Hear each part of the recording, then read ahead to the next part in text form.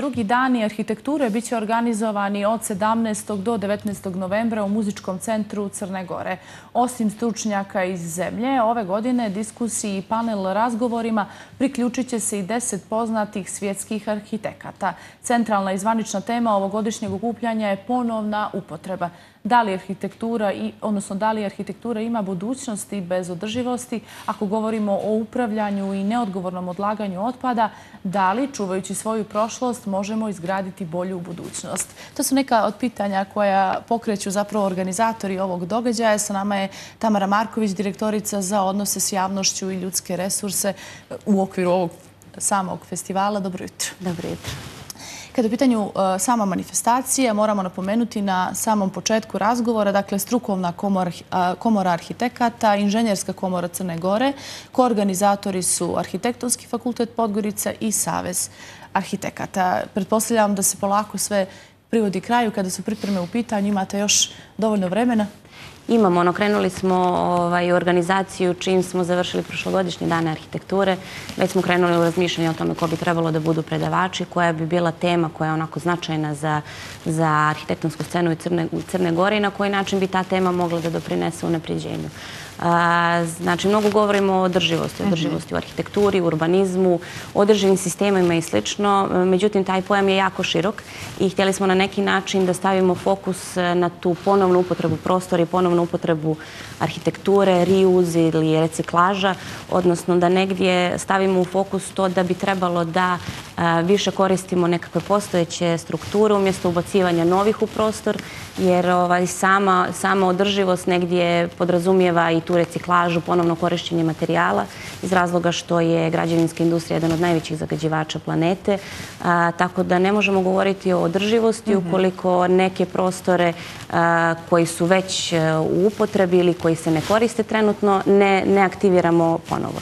I zato je ovo važno jer imamo i neke fabričke komplekse i neke stambene kvartove u koje bi trebalo da unesemo neke javne prostore, da činimo da se oni na bolji način ponovo upotrebljuju, umjesto da ubacujemo neke nove strukture koje nemaju nekog previšeg smisla ili e, benefita za zajednicu. Da, ovo što sam upravo kazala u najavi, to je jedno od pitanja zapravo koje ćete vi e, i pokrenuti. Zbog čega arhitekturi nema budućnosti bez održivosti? Evo, vi ste i djelimično e, i odgovorili.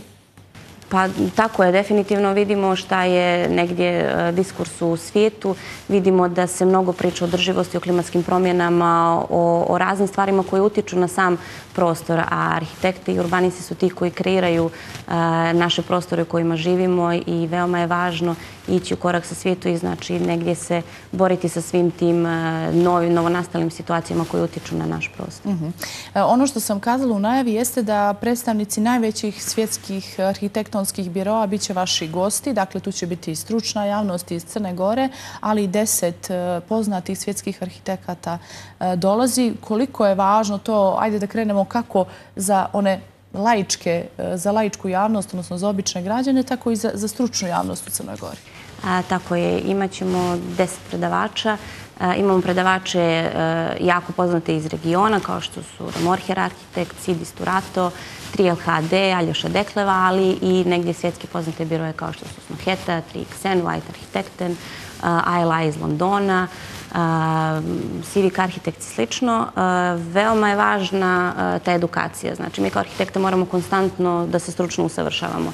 I to je negdje i cilj, jedan od glavnih stvari koje, čime se inženjerska komora Crne Gore e, bavi, tako da je veoma važno čuti šta se to dešava u svijetu, na koji način možemo da unaprijedimo i primjenimo ta znanja u Crnoj Gori. Mhm. Osim toga, jako je važno edukovati i laičku javnost i investitore, e, jer nekako bez toga ne mogu arhitekte same da postignu ovaj mnogo. Šta očekujete od ovogodišnjih susreta? Evo, kazali smo, drugi su po redu. E, kada su u pitanju teme i ideje, koliko toga što ste recimo prošle godine čuli se moglo primijeniti e, ovako kod nas u praksi? Prošle godine smo mnogo govorili o arhitektonskim konkursima. To je bila jedna od dvije uh, glavne teme prošlogodišnjih događaja i negdje vidimo da je negdje i i državna uporava prepoznala to koliko su značajni arhitektonski konkursi, tako da smo recimo u posljednjih godinu dana imali sigurno nekih desetak konkursa konkursa gdje su mnogo više počeli učestvovati naši arhitekti, tako da čini mi se da smo negdje uspjeli na neki način da tu temu provučemo kroz javnost i da, i da se neki rezultati stvarno vide. Što se tiče ovogodišnje teme, veoma važno pričati o tom riuzu. I negdje ono što sam već rekla, bitno je postaviti nekakav, nekakvu bazu za pravilno bavljenje arhitekturom, bilo to zakonska legislativa, edukacija Eh, investitora, ali naravno i arhitekata. Smatram da imamo dobre arhitekte, ali da nemaju nekakvu dobru podlogu za sprovođenje svega toga u smislu ono generalne, eh, generalnog stanja u, u državi urbanizmu. Da. Ako govorimo o ostalim temama, šta je ono što se za tri dana manifestacije može još pokrenuti? Evo čuli smo prošle godine jako korisno bilo kada su u pitanju konkursi, ove godine bit će ta ponovna održivost. Šta je još na što možete skrenuti pažnju? Pa I morate za zapravo? Pa moramo, mislim, taj, taj riuz je veoma široka tema. Ove, rekli smo da, da eh, je to nekakav princip održivosti, da moramo razgovarati o klimatskim promjenama i o samoj to reciklaži prostora, materijala.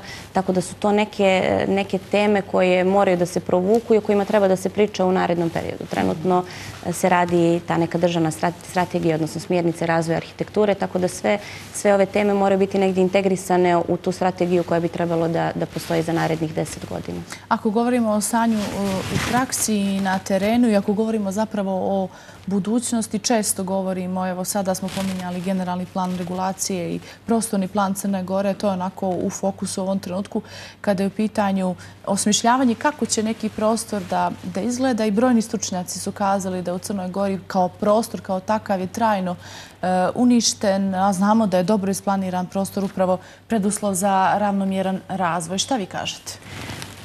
Pa iskreno, vezano za tu poziciju trajne uništenosti, e, ja smatram da uvijek postoji prostora za unapređenje, za te neke mhm. urbane transformacije, što, što ćemo i vidjeti na kraju krajeva na ovim danima arhitekture, jeste trajno napadnut, ali to ne znači da ne može da se transformiše na način da bude adekvatan za, za, za društvo i za zajednicu koja tu funkcioniše. Tako da je to nešto što, što onako... Kako mogu izgledati te, te transformacije? Pa možemo da pričamo o nekim zelenim koridorima, možemo da pričamo o e, nekim kvartovima koji nemaju javne sadržaje, na koji način da se one unaprijede. Ukoliko edukujemo investitore, možemo i, i, same građane, možemo negdje da očekujemo u, u krajnjem, u idealnom slučaju, da, da i ti investitori i korisnici rade više za zajednicu, a ne samo za sebi i za sobstveni profit. Tako da onako ima, ima modela, a te modele treba razraditi i naravno primijeniti da bismo mogli pričati o nečemu što bi moglo da bude bolje, odnosno napređenje trenutnog stanja u određenim prostorima koji jeste jako devastiran. Ukoliko smo u ovom trenutku zainteresovali neke od naših gledalaca, ja se nadam da jesmo, mogu li vam se oni priključiti na koji način, kako da se informišu najbolje? Naravno, imamo e, zvaničan web sajt www.daniarhitekture.me, također imamo Instagram stranicu Dani Arhitekture. Na sajtu se mogu vidjeti predavači, programi, način kupovine karata, tako da onako aktivni smo na društvenim mrežama i trudimo se da to najbolje, na najbolji mogući način ispromovišemo.